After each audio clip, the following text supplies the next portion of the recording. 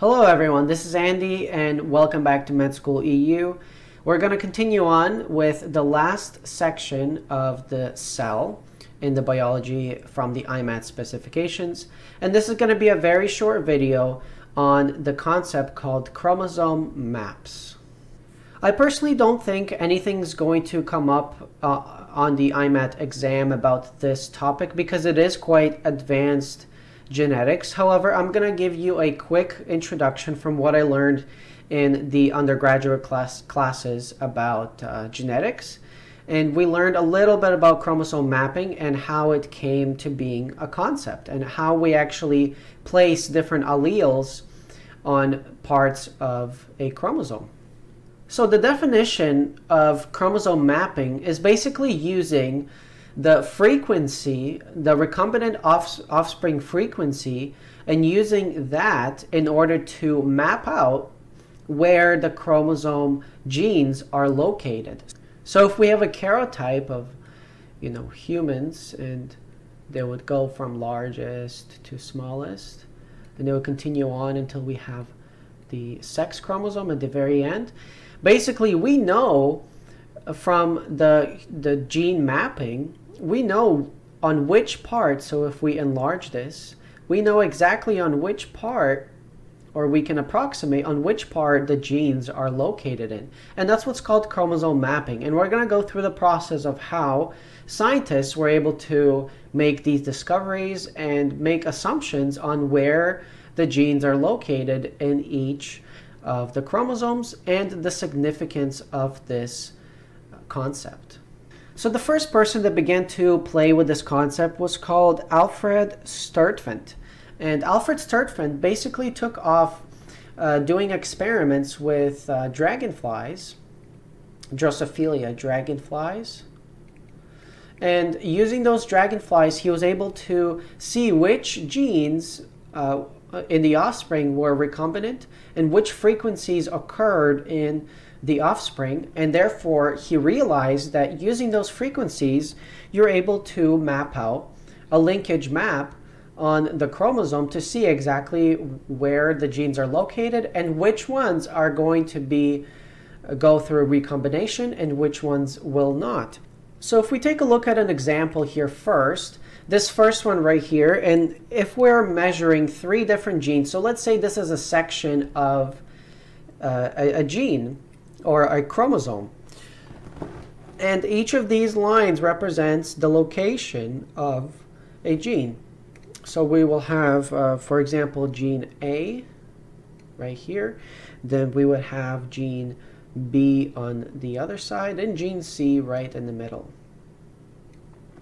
So when we have these three, he estimated in his Drosophila experiments is that between A and C, there was an 8% chance of a recombination. And I'll explain what that means. Between C and B, there was a 2% chance of recombination.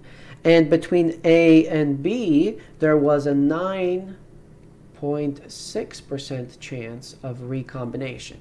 Now I'm going to explain what these numbers mean and why the numbers, the, the further the distance between a gene, the higher the number, and why the number is lower between closer genes. Well, basically, his concept states that if if you are going to map out genes, the first thing you're going to do is go through recombinant offspring frequencies. So you're going to have uh, a parent um, and another parent, male and female, they're going to reproduce and they're going to form different offspring, right? And these offspring will have various frequencies of genes. And you're going to pick a gene and see, so we're going to pick A, B, and C, the three different genes, and we're going to see their recombination frequencies. And we have determined that the recombination between these would be uh, A and C would recombine 8% of the time. A and B would recombine 9.6% of the time, and C and B would recombine 2% of the time. Now, what does recombination mean? And we, we talked about the process of recombination in meiosis. It happens in meiosis 1 in the prophase 1 stage. And what occurs is that two genes So if we have one like this and the blue one like that, they basically do a crossover right here. So it happens a crossover and now the yellow one would have part or a segment of the blue and the blue one would have a segment of the yellow. And these would go through the process of, this would be called recombination. That occurs in uh, prophase 1 of uh, meiosis 1. And recombination, the significance of it is that what are the chances that gene A and gene C would recombine? And the chances are 8% of the time. Now, what are the chances of A and B recombining? It's a little bit higher. Why is it higher? Because the distance between them is bigger. And recombination is basically the the splitting of the genes. So what is the chance if uh, a chromosome has A, C, and B, what is the chance that recombination will result in A being separated from B? It's 9.6 because if you separate here, A would remain on the original chromosome and B and C would go on and be on the other chromosome because of recombination.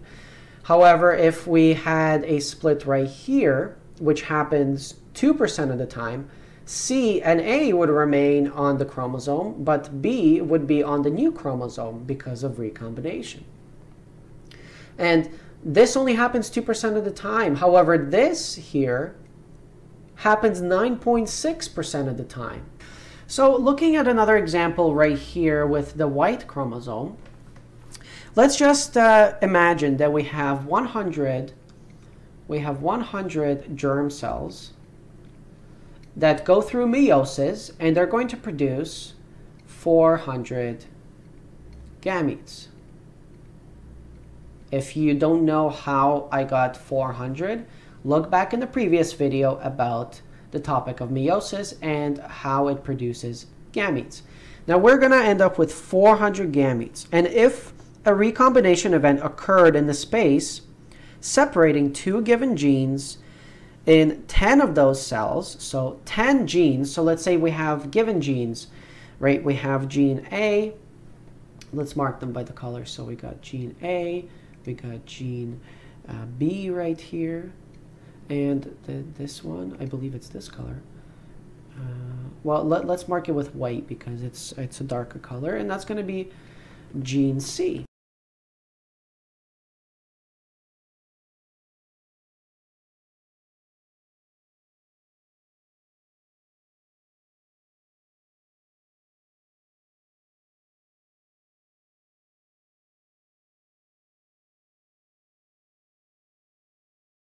if, if recombination event occurred in the space separating two given genes, so let's say it would be A and B, uh, and, and 10 of those cells, so in 10 of the germ cells, we're going to have the separation between A and, and B. So 10 germ cells go through recombination and they separate A and B. So what we end up with is uh, 20 recombinant chromatids. 20 chromatids.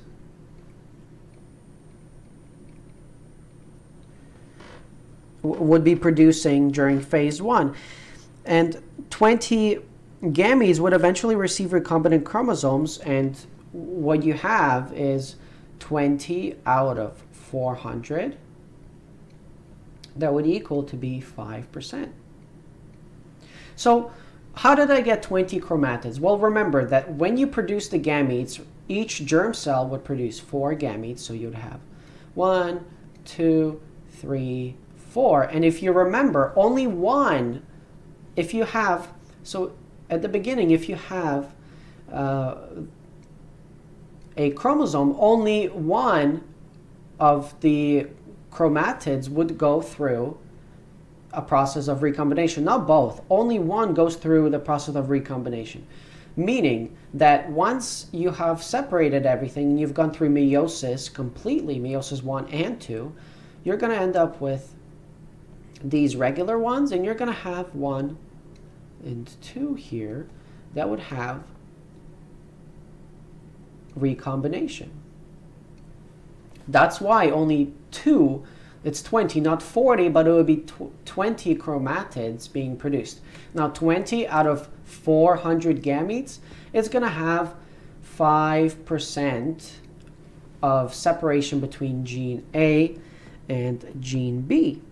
And we could conclude that these gametes are 5. So the units that they use, whoa, that's a crazy 5. Look at that. Now, let's try this again. Yes. Now, so 5, and they call them, the units uh, of separation are called map units. So MU. So there would be 5 MU apart right here. And that's the significance of it. Now, obviously, if you are going from A to C, then the number would be much higher because the uh, the significance of having split right here is a lot higher than having the split right here. And uh, typically these two would only, they would be together. If they're going through recombination, they would still remain intact 95% of the time. And they would only go through this separation 5% of the time. And that's why we labeled B a lot closer to C because C would have something higher, maybe something like uh, um, 48%. And remember, you cannot have anything higher than 50%. So your recombination frequency cannot be higher, it cannot exceed 50%. It has to be below that. Now, why is that? Well, because only one sister chromatid goes through recombination, not both, only one. So you're, you can have a maximum of 50% of recombination offspring frequency. So if, if it is at 50%, that simply means that they would be separated all the time. Every single time that that specific sister chromatid goes through uh, recombination, it would uh, split the two genes apart. And now, of course, if if we're looking at uh, B and C here, we would have to take 48 because between A and C it's 48%. Now between B and C it would have to be 48 minus 5. It would split 43% of the time. So that, that's how we determine the location of each gene on the chromosome. And it's, it's done through the recombination of offspring frequencies. And that's that's typically the significance of this video is this chromosome mapping and how it's done. There's a lot, a lot more detail to it in, in uh, genetics. However, just a slight introduction to the topic, since it is on the IMAT specifications, they, these are the little things that you should know. Okay, so we have finally concluded with the topic of the cell. In the next video, and in the next lecture, we're going to begin lecture three called bioenergetics. And in that first video, we're going to talk about the energy currency of cells called ATP.